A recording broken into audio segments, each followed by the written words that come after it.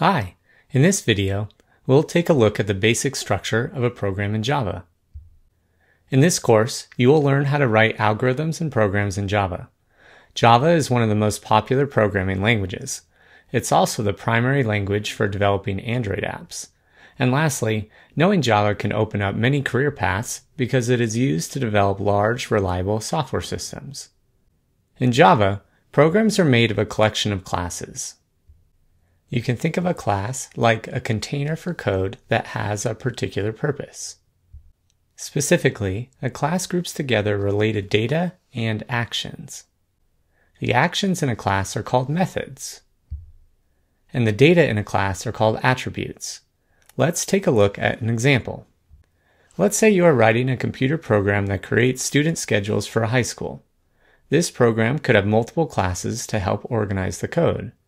For example, there could be a student class, a teacher class, and a course class. The student class would have a set of attributes or data and a set of methods or actions. Some attributes could be student name and grade level, and some examples of methods could be the action of changing a pathway or changing the student's grade level. A teacher class would have a set of attributes and methods as well. Some attributes could be a teacher name and the courses they teach. And some example methods could be the action of checking a teacher's availability or changing a course they're teaching. And let's think about the course class. Just like the student teacher class, the course class would have a set of attributes and methods as well. Some attributes could be the course name and the prerequisites. And some example of methods could be the action of adding that course to a schedule or changing a course prerequisites. This example shows how a program can have multiple classes. However, to start, you will write programs with only one class, which we'll call the main class. Let's get into some actual Java and create the main class. You start by writing public class. Notice how each word is lowercase. Why public, you ask? Well, you'll see this term a lot in Java, and you'll learn more about what it means later on. For now, just know that the term public means that something is accessible by everyone. Then you write the name of the class. For this example, you'll use my first class. Class names should follow a few guidelines. They should be descriptive, and they should use camel case.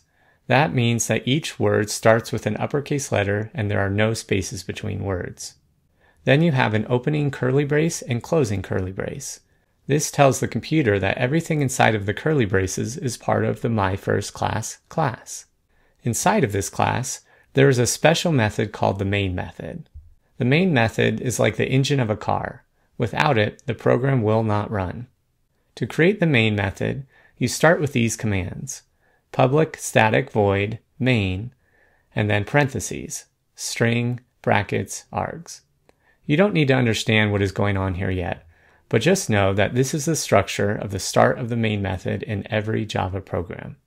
Notice how this line of code is indented to show that it is inside of the MyFirstClass class. Just like the class, you have an opening curly brace and a closing curly brace.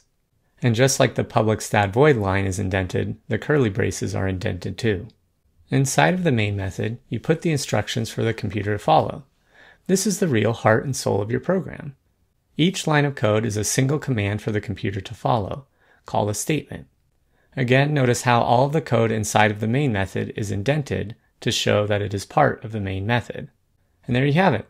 This is the most basic structure of the main class of a Java program. Now that you know the basics, let's write our first Java program. To write our first program, you need to know a Java command. Your first command will be a print statement that enables you to print text to the console or screen. This classic first program prints the text hello world. A print statement in Java looks like this system.out.println and then the text hello world. Let's see what it looks like to add this command to our main method. So here's the class, which is named hello world, so that it describes what the program does. Then there is the main method. Inside of the main method, let's start by writing system and period followed by out period, and then print ln. And finally, you have a set of open and close parentheses and a semicolon. Then inside of the parentheses, you input what you want to print. in this case, hello world. Notice how the text to print is surrounded by quotation marks. Great, let's head to the CodeHS editor to see what this looks like in action.